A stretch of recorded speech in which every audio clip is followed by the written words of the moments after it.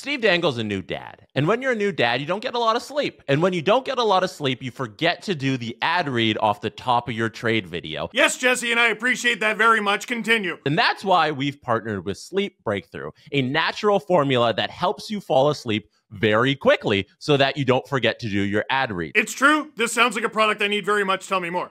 Sleep Breakthrough is a natural formula that produces the precursors to melatonin. So it's better than melatonin because it creates the natural things in your body to then produce melatonin to then help you fall asleep very quickly and get all of the sleep you need to go about the rest of your day. And apparently, it also comes with the help of supportive friends. If you're struggling with sleep, like Steve Dangle, who cannot fall asleep quickly enough and get enough sleep, I highly recommend Sleep Breakthrough. Visit bioptimizers.com slash dangle and use promo code dangle for 10% off your purchase of Sleep Breakthrough. It'll help you fall asleep super quickly. It's all natural. That's bioptimizers.com slash dangle, promo code dangle 10% off your purchase. Bioptimizers.com slash dangle, promo code dangle, 10% off. I am getting some immediately. Trades! Two of them! And Two Colorado ones as well. The Colorado Avalanche made two trades on Wednesday, two days before the trade deadline. They made another two on Thursday, and these guys sneakily doing a fantastic job, MacFarland, Sakic, and company. And no, producer Drew did not pay me to say that. First, the Avalanche dealing with a divisional rival. The Avs acquired depth winger Brandon Duhaime from the Minnesota Wild in exchange for a third round pick, which is a decent pick, but it's down the road in 2026, which is actually a deal that could work out decently for the Wild because the Avs are really, really good now. Two years from now, who knows? It could be better, but it's a wild card. Then a second deal with another divisional rival, this one a, a little trickier. The Colorado Avalanche acquire big forward Yakov Trenin as well as WHL defenseman Graham Sword in exchange for WHL defenseman, there's another one, Jeremy Hanzel, and a 2025 third round pick. So if you're into the niche of Colorado Avalanche third round picks, well, this is a bad day for you. There is a theme here. The Trenin trade, to me, it's Yakov Trenin for a third round pick. The swap of WHL defensive prospects is to me just a wash. The main difference is Jeremy Hanzel, who went to the Nashville Predators, is under contract, whereas Graham Sword, it's just his signing rights. So he could tell the Avalanche to take a hike, which is an opportunity they might not turn down on account of it's Denver and the mountains are beautiful. Dad humor, had, we had a baby on Sunday. Shut up, I'm tired. There is a theme here, though, with what Colorado is doing. Do you like professional wrestling? Are, are, are you into that? Is that the sort of thing you're into? You know the tag team, the New Day? You know former champion Big E? That huge huge dude who did that gyration and moved his hips and did the splits? Well, he once said something that I think Joe Sakic and the Colorado Avalanche would agree with. Quote is, I want to see two big men with big chests and big muscles bumping meat. That's why I'm here. That's why I watched wrestling as a kid. He meant hockey. You want your five star matches? You want your 30 minute classics?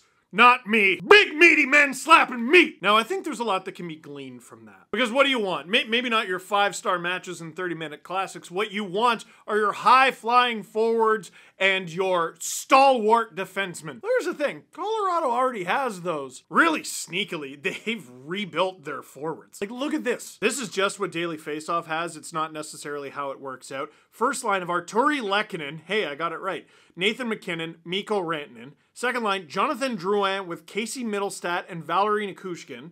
Third line, this is so annoying. Miles Wood, Ross Colton, Zach Parise. I would try to upgrade that Parise slot, but other than that, that's a really annoying third line. And then the fourth line, big meaty men bumping meat. Brandon Duhaime, Andrew Cogliano, Yakov Trenin. Yakov Trenin, 10 goals in 60 games. He's only got uh, 14 points, six foot two, 200 pounds. And Brandon Duhaime in 62 games, four goals, four assists, eight points. Six foot two, 200 pounds, big, meaty men slapping meat. Listen, Ryan Johansen, it seems like they couldn't get rid of fast enough, so he's gone. Obviously, their D-core looks a lot different with Sean Walker coming in and uh, uh, Bowen Byram going out. But that fourth line is big and nasty right now with Duhaime and Trenin, who Trenin, by the way, can also play some center. Now you might be saying to yourself, all right, so they only spent a third round pick on Duhaime. I can live with that. They only spent a third round pick on Trenin. I can live with that. Do the Avalanche have any picks left? And the answer is not no. It's almost no, but it's not no. Get a load of this. The Colorado Avalanche have no second and no third in this draft. They have their fourth. They don't have their own fifth, but they do have Seattle's. They have their sixth. They have two sevenths. Next year, no first, no second, no third. They have a fourth, fifth, sixth, and seventh.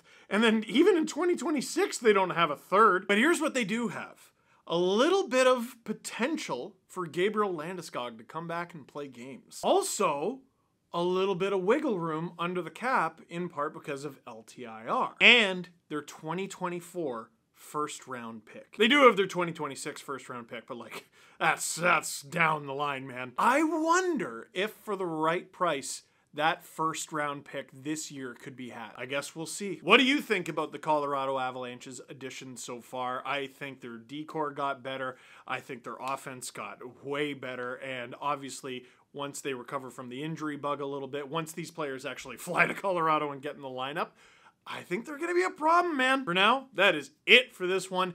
Thank you very much for watching. Click like if you like this video. Click subscribe if you really liked it. Consider becoming a member, uh, SDP VIP, and join this channel. Join us on Apple Podcasts. Join us on Spotify. Tell all your friends. Big meaty men slapping meat.